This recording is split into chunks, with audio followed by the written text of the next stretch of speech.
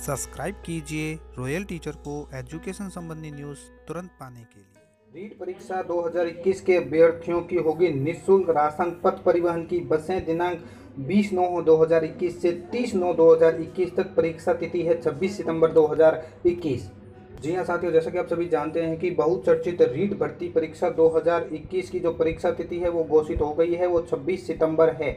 26 सितंबर 2021 को रीट भर्ती की परीक्षा होने जा रही है।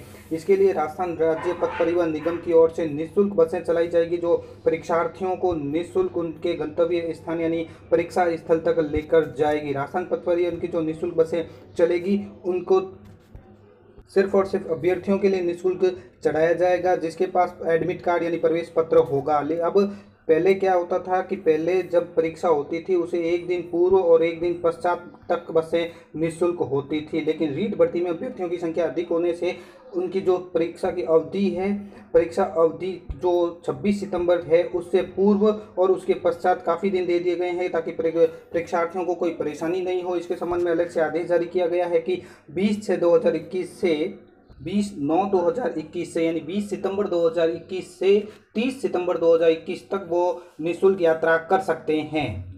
ये देखिए साथियों, यह है वो आदेश जो राजस्थान सरकार परिवहन विभाग की ओर से जारी किया गया है, जिसमें बताया है कि राज्य में दिनांक 26 सितंबर 2021 को संपन्न होने वाली रीट परीक्षा 2021 में सम्मिलित होने वाले परीक्षार्थियों को माननीय मुख्यमंत्री महोदय की बजट घोषणा संख्या उनसाठ वर्ष 2021-22 के अनुसार जारी पूर्व अनुमति आईडी संख्या दिनांक छः चार दो हज़ार इक्कीस के क्रम में परीक्षार्थियों को बड़ी संख्या में ध्यान में रखते हुए कोविड नाइन्टीन के नियमों की पालना के क्रम में सभी परीक्षार्थियों को परीक्षा से एक दिन पूर्व से आगामी दिनांक तक पूर्व अनुमति को संशोधित करते हुए निवास स्थान से परीक्षा केंद्र के शहर तक जाने के लिए दिनांक 20 नौ 2021 से 26 नौ 2021 तक। एवं परीक्षा उपरांत यानी परीक्षा समाप्ति के बाद निवास स्थान तक वापस लौटने के लिए 26 नौ 2021 से 30 नौ 2021 तक निःशुल्क यात्रा की सुविधा प्रदान करने की एक बार के विशेष स्वीकृति इत्र द्वारा प्रदान की जाती है, से शर्तें पूर्व अनुसार ही